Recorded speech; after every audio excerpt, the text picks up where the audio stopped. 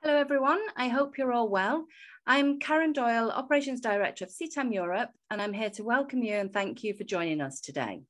It's great to see this fabulous group on our screens here today. I'm going to introduce you first to Kasia Jablonska, one of CTAM Europe's board members, and then Kasia in turn will welcome the panel and they'll quickly introduce themselves. The session today is due to last around 45 minutes, including a few minutes at the end for questions. So please do get involved and ask via the Q&A button. Members of CTAM Europe can watch the recording of this and our archive of webinars and podcasts on the members only section of ctameurope.com. And I'll follow up with e uh, by email with information on our executive management program, which we are holding live at INSEAD next March. The panelists may also email you directly as they have access to the registration list. So time is short. I'm going to take myself off screen now and let the webinar commence. Enjoy. Hello and welcome. We're meeting on this panel for the second time, which is now fast becoming an annual tradition, in order to do a roundup of the current industry trends. Our distinguished guests have attended some of the latest media events so you don't have to. Following from this, they will now share their thoughts and observations with us. What do the industry and its, its events look like in this post-COVID world? First, let them introduce themselves. Guy, would you like to start? Yes, thank you, Kasia. Hello, everyone. Uh, my name is Guy Bisson. I'm Executive Director and co-founder of Ampere Analysis and following on my screen, Natalie. Hi everyone, uh, Natalie Lethbridge. I am founder of Atonik Digital, which is a media advisory firm. And then next one is Maria. Hello everyone, my name is Maria Rua Aguete and I am Senior Research Director at Omdia, part of the group Informa Tech. Thank and, you for inviting me. And finally, Jonathan. Hi, I'm Jonathan. I'm MD of Workshare Consulting, who focus in uh, growth consulting across product, market, and client outreach. So before we start uh, discussing the, the industry trends, I think the first question I would have to all of you is, how is it going back to the events? And the most importantly, are you all going to attend MIPCOM next week? Maria? Very good question, Kasia. Uh, regarding MIPCOM, yes, I'm flying on Sunday. Today is Thursday, so in three days. I'm going because I think there is a lot of value in attending in-person events. So when I went uh, to NEM, where I was with these fantastic people here today with Natalie, Guy, and Jonathan uh, one month ago, it is true that it's an effort to travel these days. Lots of tests, lots of regulation that keep changing but because all of us have to put so much effort to attend a physical in-person event, once you are there, everyone is giving 100% or more of themselves. So people uh, have very good quality meetings. They are really engaged with everyone there. They don't spend time in the hotel rooms as they used to do in the past, some of the attendees. So I think more than ever, maybe less people attend to those events, but those that are there is when you get the best meetings, the best conversations, the best leads. So yes, I'm going to MIPCOM. I will be there the whole week next week. And I know many of you listening today probably are not even sure, even today, if you want to go or not. So if you can, go, travel there, and I would love to meet you there. Let me know if you are. And I think, uh, well, I will pass it to Jonathan. Are you going, Jonathan? yeah, yes, I'm, I'm, I'm off to MIP. Um, I think you're right. You know, before before we went to uh, NEM, um, I'd sort of forgotten how useful in-person events were. There's been a, a plethora of, of, virtual events over the last 18 months. Um, you know, everyone's kept really busy in that space. Um, and so sort of in the build-up, we were, you know, a little bit, bit like I think a lot of people are thinking about MIP now, um, sort of wondering whether it's worth it. Are you going to go? Are you going to get meetings? Is it worth all the, the, the effort and the time and the expense of, of doing all of that? Um, and I'd say, you know, it, it absolutely was. Uh, the nice thing coming off the back of, of NEM, I've now decided to go to every sort of physical event I possibly can because they were so, so useful. Um, you know, in, in my head, virtual events seem to be quite good in terms of, you know, producing, you know, nice information that you can listen to and learn about industry trends. Um, but like you like you said, to echo that, a physical event is about sort of discovery, curation, and, and actually sitting down across the table from somebody who is vested in, in making something out of their time. Uh, I am going to MIP. Um, I was a little bit concerned about not getting enough meetings, so I kind of went uh, went to that with great guns. Now I have 22 meetings across the three and a half days I'm going to be there. Not sure where they fit in. Um, so I'd say if people are a little bit on the fence, yeah, look, people are going. They're very keen to meet. Everyone's a little bit stir crazy from being trapped in the, the, the Zoom the Zoom office for the, the last 18 months. So people are open and, and, and happy to chat. Yeah. Jonathan, sorry, if I could interrupt you here. So what would you say if you compare the sort of virtual and the physical attendance? What are the sort of at the moment, what trends do you see? Glad you asked that. I actually have uh, a couple of slides I can actually share on that. Let me bring that up for you. Hopefully you can now see um, some lovely data from uh, an industry survey we did uh, earlier in the year. And I know when I, I showed the, the panelists this, it immediately provoked a bit of discussion. Um, I think what's really interesting is, is when when we spoke to people who were organizing conferences, um, they sort of indicated that the registrations were doing really, really well. So registrations to virtual events seemed higher um, than physical. I mean, it makes a lot of sense. It's very easy to say yes and then think about the logistics later. Um, there did seem to be a flurry of activity at the start of lockdown, but as time went on, these are the results we sort of started seeing. So you can see that actually average attendance, despite virtual events being easier to get to, dropped. So people went to fewer events during lockdown, despite it being easier and registrations being higher. So there's definitely a factor there of people not necessarily being in the right headspace um, to do that. You know, as Maria was saying, it's it's about you know effective communication and, and meetings, and these virtual events were happening at a time where people had a lot of other things on. So they were doing their day to day and maybe dipping in and out of these events, or in fact, you know, getting getting you know their their normal work life catching up with them um, and therefore attendance being lower. And if I, if I quickly flick to the next slide, and please, guys on the panel, if you want to jump in on some stats here, um, absolutely do.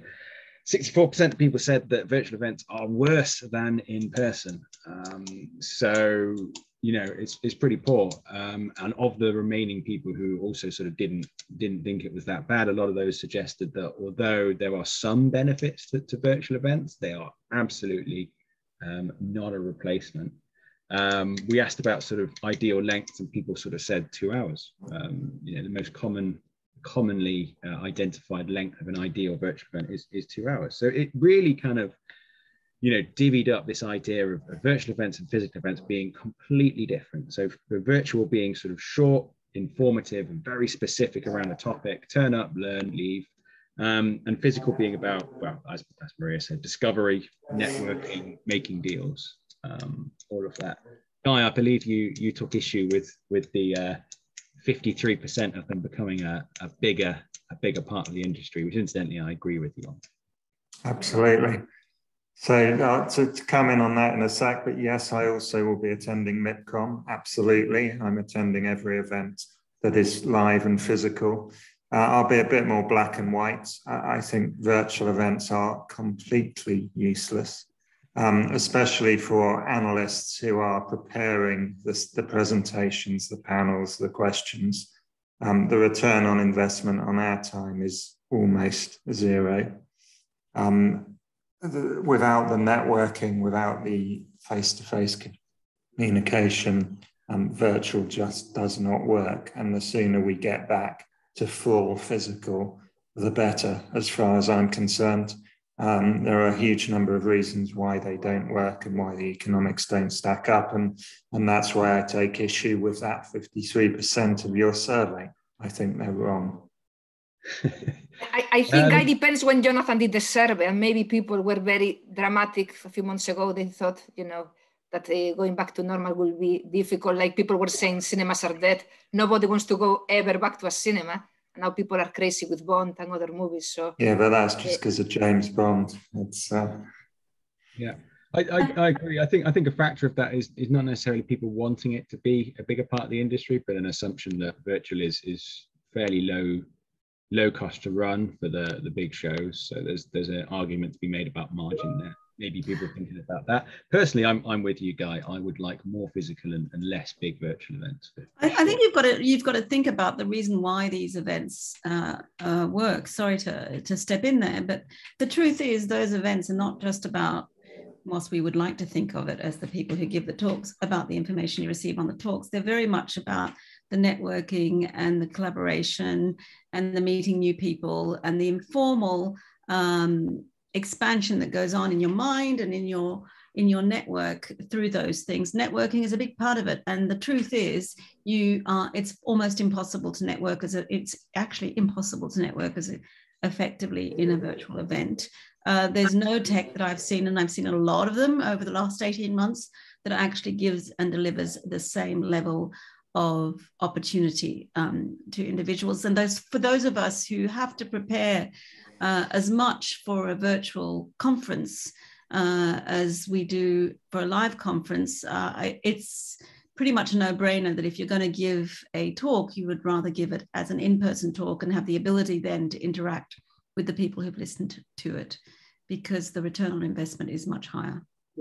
I think we're all aware when we're speaking that um, everyone who is listening is on their email, on their iPhone, um, probably on another call at the same time and not giving it their full attention as they would be.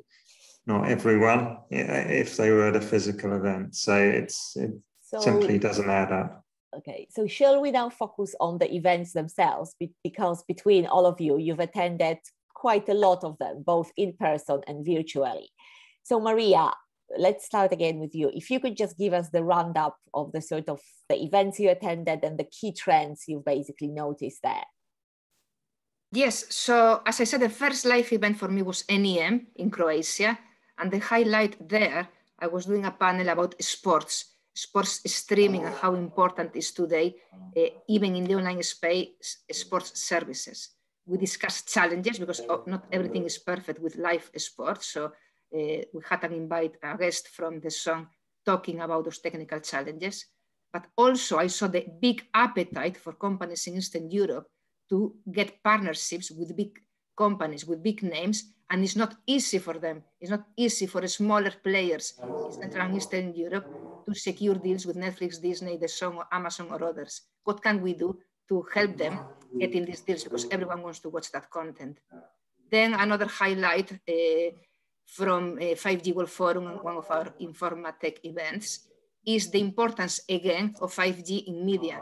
5G is a topic that comes and goes, but now again, it became very important for media companies because they see that now that everyone is out and about watching content, of course in the smart TV at home, but also on the move, eh, it will be very important that 5G to allow low latency, reliability, download lots of content and being able to watch it without mm-hmm. having massive data charges. So lots of trends in all the events, but probably we'll highlight this. And of course, Conecta Ficción Iberseries about Spanish production. I should mention this. Spanish content is a hot topic around the world. Now the world realize how important it is and huge investment is going to happen in the next five years around Spanish titles. So keep an eye because everyone is going to make a lot of noise with the Spanish content. Gracias. Ah, well, you know what? It's not just uh, Spanish content. I think local content is a big theme. And uh, the fact that local markets are actually stepping up and uh, building out their production facilities. And we, we know that from uh, our Croatian experience at NEM as well. There was a lot of pitching of local resources, facilities, capabilities, and and storytelling, I think. Any other trends you've seen, Natalie? Uh, yes, I mean, obviously, uh, there's a lot of discussion on streaming and where that's going, and we'll speak about that probably a little bit later. But the key thing there, of course, is the you know the nascent and growing AVOD market in Europe, and is it going to start uh, building out as it has in the US? I heard one quote which I thought was quite interesting. which said that uh, you know a free offer is, is appealing to consumers. Well, of course it is. It's free, but it's not completely free because you exchange your data and your uh, and advertising. But I do think this is a really important development that we're going to see. And of course, and we'll, we'll talk about that possibly later, the whole issue of consumer shift to streaming, which is accelerated under COVID, isn't going away. And the key question is what will remain? Uh, of the legacy businesses as we move forward, and specifically uh, as we see companies who have relied on set top boxes moving into a streamed or hybrid environment. Jonathan, what are the top uh, trends you have noticed at the event? Um, so a lot of a lot of things being discussed, which I would loosely sort of group together under the term vertical integration. Um, what's very interesting is that we've got a lot of a lot of very high growth services um, which are starting to enter maturity. Now, everyone's been saying they've been entering maturity, including myself, for about the fast, last five years. Um, but it does seem that you know those percentage growths are, are dropping and dropping, and therefore um, moving to business models for, say, the streamers that make better use of their IP. Um, and for existing companies that are under a bit of pressure, for example, uh, telcos, even even sort of low margin streamers like DAZN, are suddenly thinking a little bit around um, that consumer relationship.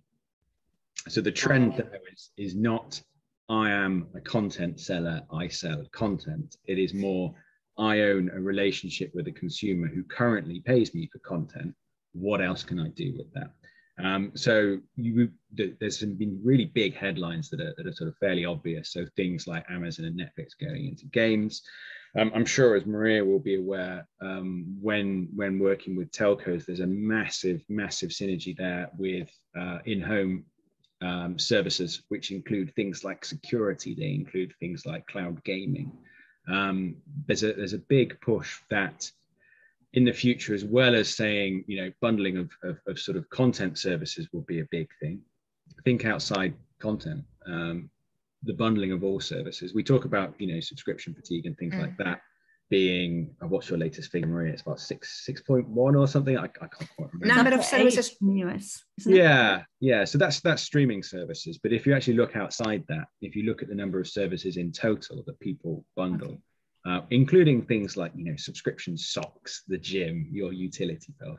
All of those are actually opportunities for someone with that relationship to bundle that into their service. So I'd say vertical integration, thinking outside the, the sort of content bubble, adding in services that are consumer focused, not necessarily media focused, in order to make the most out of that consumer relationship that you're already in. That's that's my trend.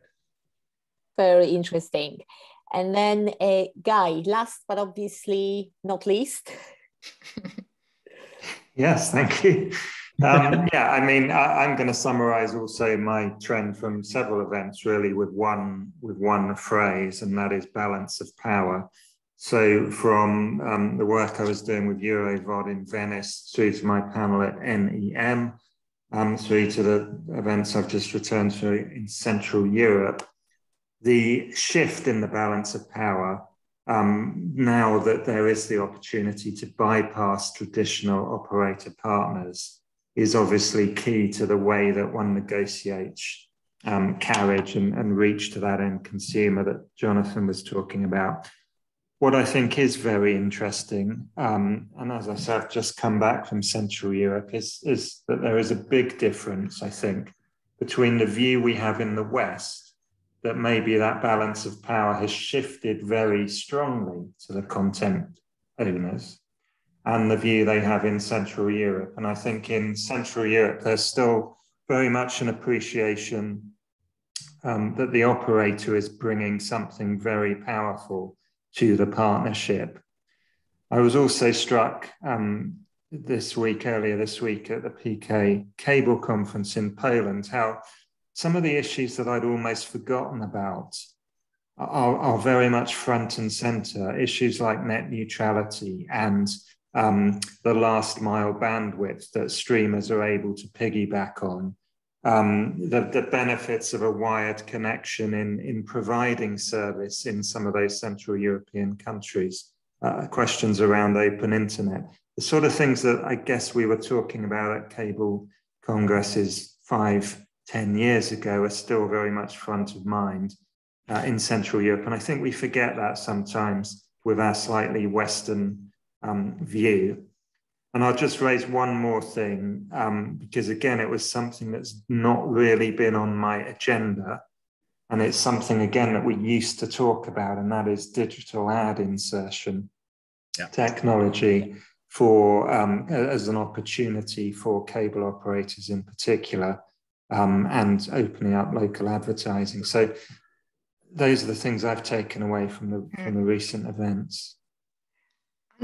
I agree with what guys said and Jonathan and, and Natalie, but I think another topic, guy, that I think will, all of you will agree that everyone setting all these panels is again the increase of piracy coming back.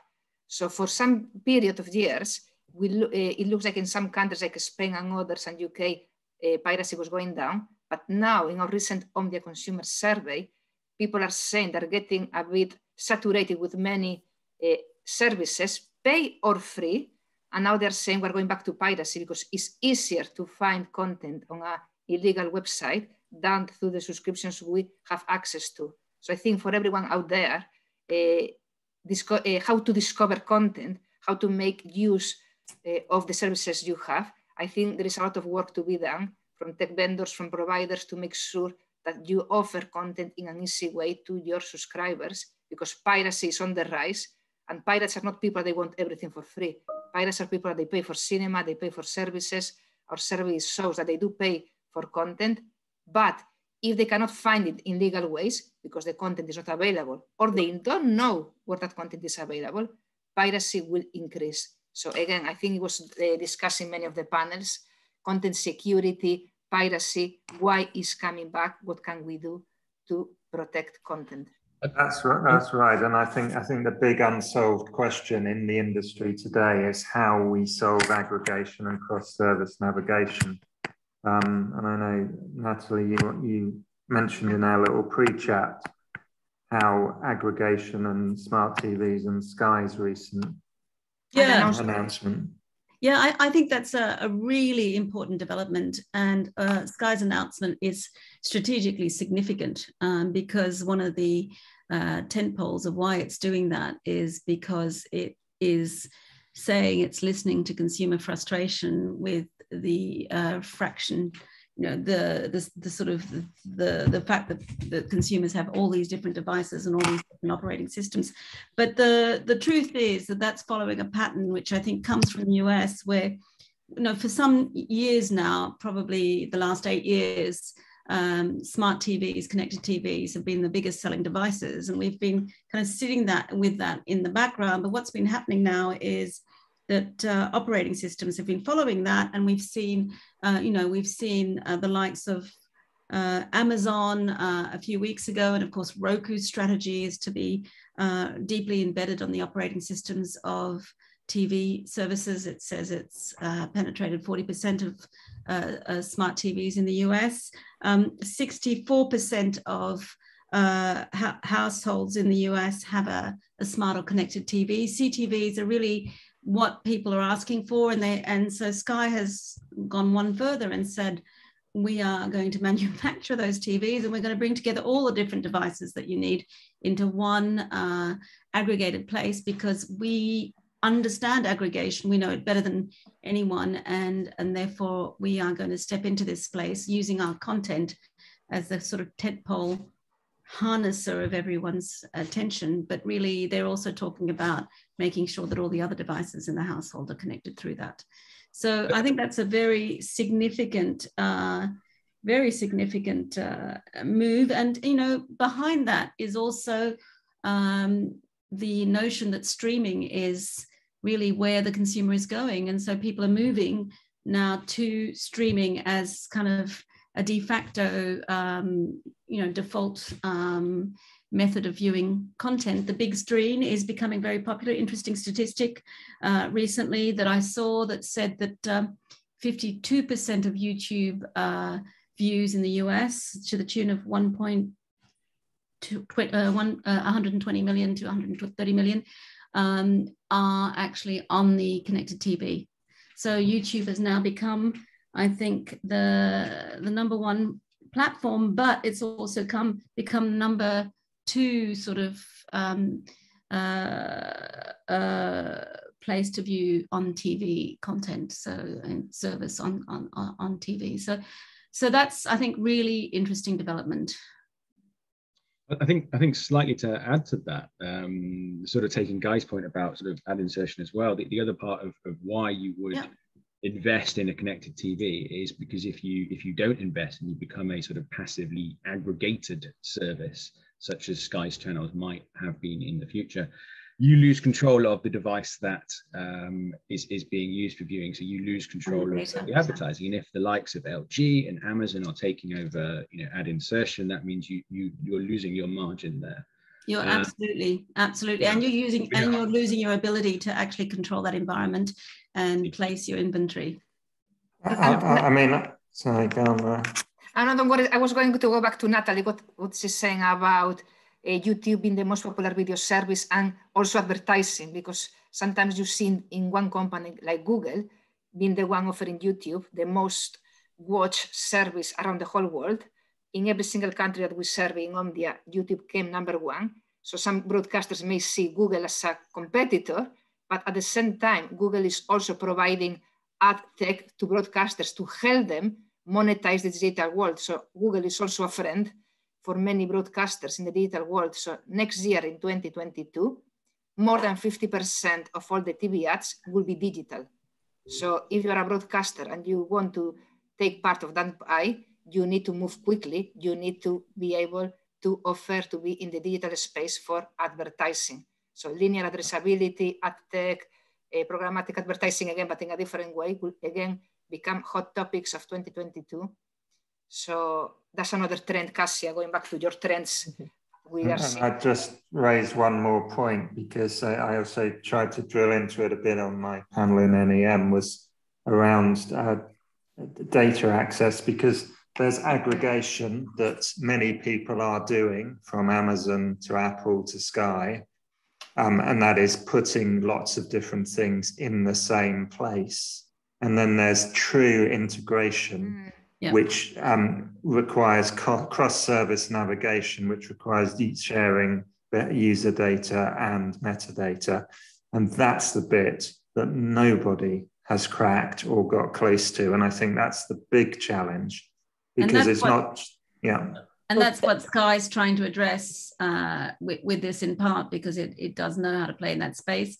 And it has, it's one of the few ag- aggregators that's insisted on deep integration with some yes yes i mean that, you know as, as, we know they they integrate netflix to a degree but not mm-hmm. to the degree that i think is necessary now that we are in this world where households do have four or five or six services all with different interfaces and navigations and um, there are lots of you know what aggregators do a lot uh, in a partnership um, but one thing they do is control the customer relationship and the data flow and that is the bottleneck. Mm. And, and that is the currency that is becoming increasingly valuable yep. as we move to a streaming world and a, and a point of negotiation in, in B2B relationships. And, yeah. and that has to be solved. We have to find a way to fully integrate. Also, Guy, because not everyone wants to be part of this marriage. So some people prefer to be single because in marriages, complications can happen. And I'm talking about yes. uh, I will not give the name, but some video streaming services said it was great to be part of Amazon channel. That marriage was fantastic. But then they realized, oh, now we don't get any data from our consumers. We lost visibility. We don't own uh, metrics on, our, on, our, on that data. So every marriage partnership relationship has some consequences. So everyone should, should choose carefully with whom should you partner, uh, what are the advantages, what are the pros, what are the cons uh, because again, in all the panels in events I have been, I have heard stories about the pros, the good and the bad of partnership with big companies and how worried they are about who gets the data, who owns the data of your subscriber, because that data is super valuable. There's, there's another interesting thing when you were talking about YouTube being so you know prominent because they are prolific in actually sharing the data. If you chat with yeah. producers or small IP owners who have actually been distributing their stuff via YouTube uh, instead of so you know setting up their own little little branded sections on YouTube. That they, rave about the feedback mm. they get. They get such yeah. detailed, granular information, and it's great for them to feed that back into the content they're going to be producing next. So even if they're not necessarily making, you know, and that's not necessarily the case at all, but the best, you know, most uh, profitable deals by by doing AVOD, and AVOD's growing, and we know that. Um, the feedback they get is almost worth that, that sort of you know cost investment to, to help them decide what to produce next, which they don't get through, through big guys, big streamers. And, and and if you ignore that completely, you do so at your own risk, even as a producer of content. And this is one of the biggest challenges I think for independent producers of content uh, today is how do they uh, position themselves so that they don't become a commoditized uh, commission in the future. And the more that you the less you have access to that data and the more you ignore it, uh, the more you're not able then to justify the value of your content and the impact it has on the audiences.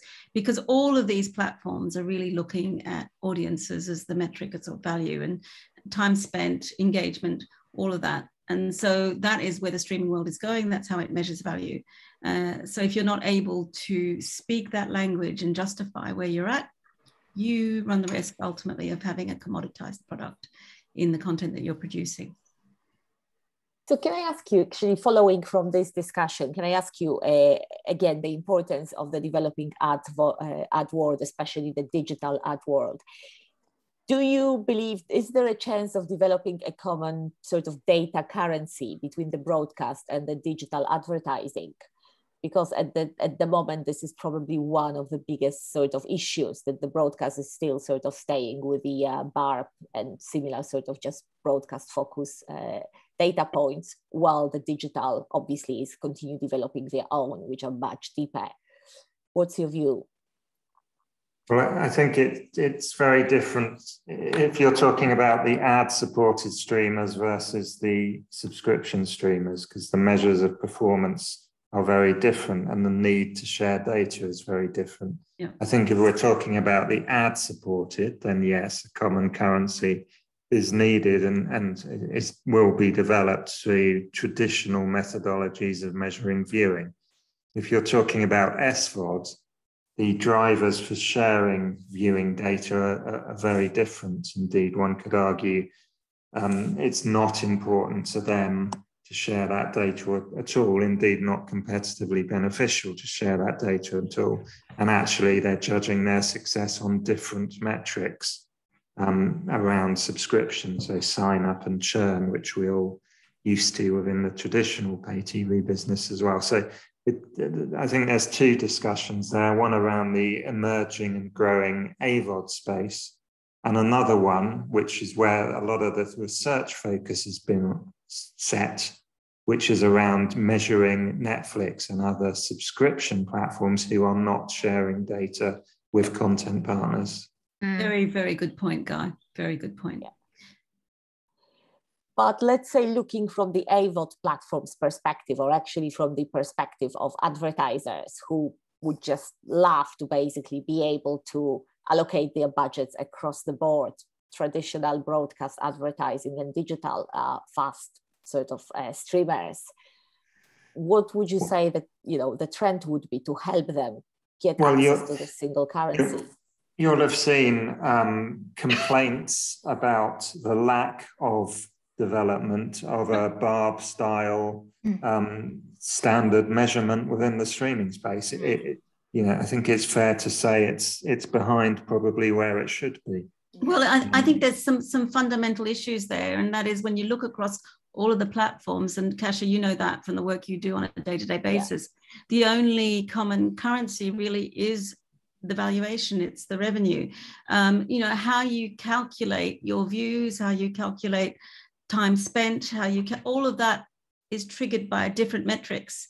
And that's one of the the challenges. And i know that there's a lot of work being done on that. And there's even work being done on recording attention or on you know um, viewing attention as a, a, as a metrics. And there's a lot of technology that's being uh, poured into this. So i expect as a trend to see this area um, developing uh, a lot in the next two or three years. And even though we've been talking about it for a while the ability to record a common sort of metrics is is improving. So i'm hoping that uh, in the next couple of years because of the size of the market and as AVOD grows, uh, we're going to see uh, some commonalities develop.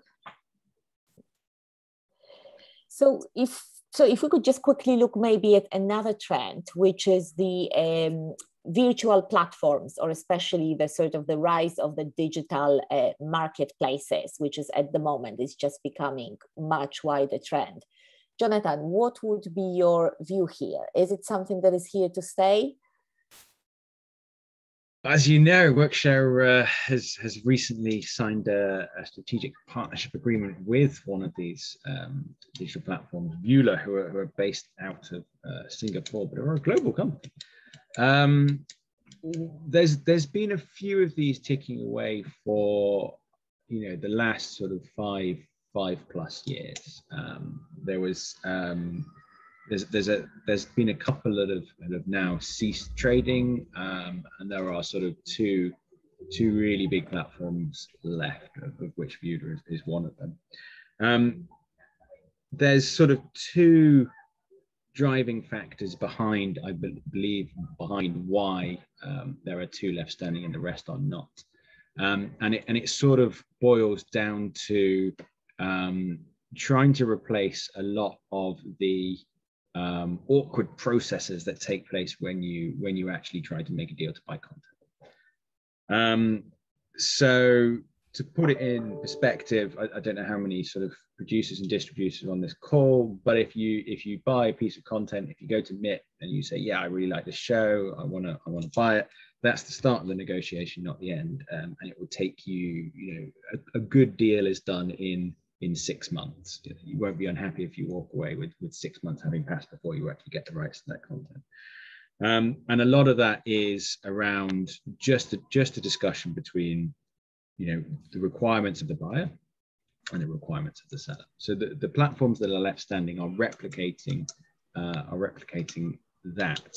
Um, why is that important? Because during lockdown, these were not no longer just discovery tools. They, they weren't just places where you'd go to, you know, browse uh, you know, browse some content and then arrange a meeting uh, for whatever, or, or browse a content, you know, half an hour before the meeting that you're going to have in person. They, they suddenly became um, something quite important. Uh, the, they were the discovery tool. They were the tool used to plug the gaps in your um, in your sort of linear lineup because you you didn't have the production um, sorry, the, the, finished tape that you thought had coming through, because of course the uh, the production was completely scotched by COVID restrictions. Um, so they suddenly became a, not just something that was interesting and, and, nice to have, but for a, for a decent number of um, sort of companies, actually fairly essential to maintain sort of quality. So I think that's really interesting. Um, I have been party to some of the figures, uh, obviously through our agreement, and they've uh, they've been very healthy over the last sort of 18 months. Um, it's going to be really interesting to see how that evolves over the next few years. Um, there have been learned lessons from what's been going on. So what's really interesting is these platforms are now looking at um, not just um, becoming like a, a, library to browse through content, but actually something that that bigger companies um, start to own parts of. So you know, showcases, mini festivals, that kind of thing. So it, it looks like you know they've they've seized the opportunity and are growing are growing strongly are, are looking to sort of grab a little bit more of the uh, sort of landscape that traditionally um, sort of events have, have, very much very much taken. Um, we know that when we've had virtual film festivals in the past they've lacked a lot of what we've been talking about before. They lack the communication they lack the ability to actually kind of get into any detail. That all has to be done on the phone so the fact they're now investing uh, deeply in, in replicating that is, is super interesting.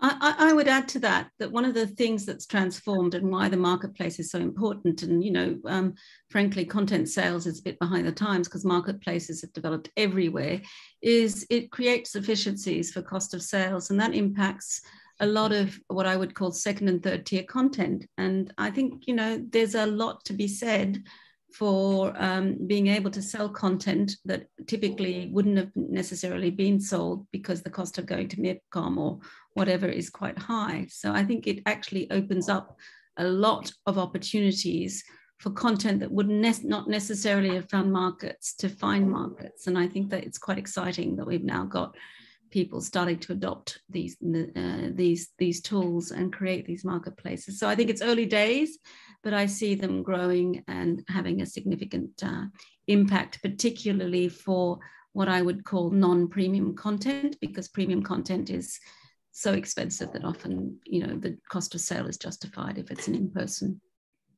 I think, I think Go on, guys. Um, Jonathan. Uh, well, I was, I was just going to say, I think there are parallels. I mean, firstly, my view is slightly jaded because I saw the first wave of these platforms in the 90s um, and I remember them well and they didn't last long. I do think there's a place for them with some of the long, longer tail content. I think the issue is, and the parallel is what we were talking about with events. If you split an event into hybrid and physical, you you divide your audience. Um, if you and the problem these platforms have is given that there are relationships in the content business and physical events, what's to stop you finding the content on the platform and phoning up your mate at the distributor to say, hey, I'll take that content? Um, I don't think anyone solved that. Maybe you know differently, Jonathan. Um, so I'd say two things. One is they tend to be slightly cheaper than traditional middlemen, um, and two, it's a cost of business. I'm, I'm a, you know, they're aware that it happens. Um, if it's a discovery tool, nothing stops you doing the, the deal outside of the platform. But the aim of these platforms is, is to make it easier to do it within the platform than not. There's there's always going to be, you know, mm. you can't shore anything up 100%. Um, I think it's just viewed as the cost of business. As long as some deals are being done, I think it's okay. And large distributors have their existing relationships, so they can do that, guy. They can pick up the phone, but uh, their smaller and distributors may not. I wonder if people from the audience have questions for us because we only have four minutes yeah. left. So anyone guys. from the audience? I was about to ask. it's the, the test of anyone who's been listening, please. Who's out there? I'm not getting any questions. It's very unusual. There we go. We've got one. I'm not seeing any questions. Does the panel want to ask the panel questions? There we go. Kasia, well, I'll, I'll read it out. Okay, Kasia, yes. if you read it out. Sorry, I can't see anything. Okay, as you each return, as you each return to conversations at conferences, what has surprised you about new winners and losers who have emerged from the pandemic at home usage environment? I think who's a winner and a loser, it depends. So some people will say cinemas were big losers last year of the pandemic. Video streaming services were big winners. PVOD was a big winner because people were crazy buying PVOD titles to keep kids at home quiet. but now, again, people are returning back to cinemas, and cinema may become a huge winner, and people may become even more fans than before because they will appreciate more the beauty of being in a room in a big screen, even bigger than the one at your own house, and watch I, content. Yes, Natalie. Sorry. So I would actually just slightly pivot that and say what we have to think about is lessons learned. And so, for instance, with cinemas, uh, yes, we're all keen to, to show that people are returning to cinemas. What I'd like to hear, though, is that there have been lessons learned from theatrical distributors and um, and venues uh, to understand that they need a little bit more connection with their audiences and they need to be able to really have a continuum conversation with them and not just think of their business model purely as uh, transactional box office tickets isolated per per title. So what I'd like to see is that um, the industry, the, the, winners and the losers have both learned from it and are actually going to mm. uh, grow as a result and grow their capacity to get data and really understand the consumer and the and and their, and their audiences so that they don't get dropped into the raven so easily if there is another uh, conscious that we have only a couple of minutes left so guy what would be your winners and losers well, I, I would just say that um, I think the, the winners were obviously anyone involved in delivering streaming to a degree which I don't think even we as analysts had predicted. So that was a massive winner. Um, I'll just make read out one more because another thing's come through, and I think it's a good way to also wrap up potentially from Amanda because um, it brings us full circle about what we're talking about events. She is saying last night at the Broadcaster Digital Awards, what shone through was authenticity and diversity. Being together physically would have brought 100% more real content ideas than in 18 months of virtual awards. So Yeah. Um, that that's the loser. It, the loser has been getting together and the, the benefits that brings, and I think that's how we started this conversation. Jonathan? if, if I was gonna say one one thing that surprised me uh, was it's a little bit tangential, I guess, um, is that because everybody was at home, people bought stuff for their home, so everybody bought little smart speakers and stuff like that. And if you take that to its conclusion of what people then start consuming, um, podcasts. So podcasts have done extremely. Oh yes, yeah. Um, and it's changed. It's changed in the way the way uh, radio advert. This is super Yeah. niche. Radio advertising has worked uh, to some extent. Less music, less ad breaks, more sponsorship of podcasts and stuff. And Like that. audiobooks, podcasts, audiobooks. Audiobooks. Yeah, the, the Yeah. other thing I'd, I'd, I'd add to that is because people actually invested in hardware that they didn't have before, this is a, a sort of Mm. semi permanent effect. Uh, it's not a, a lockdown that's going to revert back to normal. People now have the smart speakers, they've got the learned behaviors, they're going to be listening to, to more of that stuff than before. So I don't know if you're a marketing person, think about you know targeting specialized podcasts because they're a bit bigger than they were 18 months ago. Yeah, Brilliant. Thank you so much. It was all extremely interesting. And I will hand over to Karen now.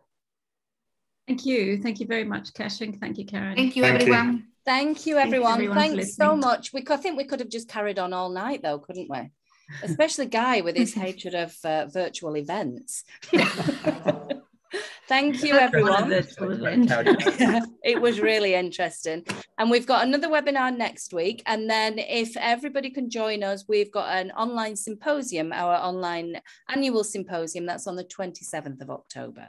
So, if you check out the What's On, um, What's On section of ctameurope.com and you can check them all then. Oh, we've just got one that's come in from Tatiana. Great insights. Thank you, everyone. Thank you. Thank Thank you. you, we'll Tatiana. and Thank you. Amanda, and everyone who asked Thanks, questions. everyone. Thank you. Thank you. Bye. See you soon. Bye. See you soon. Bye.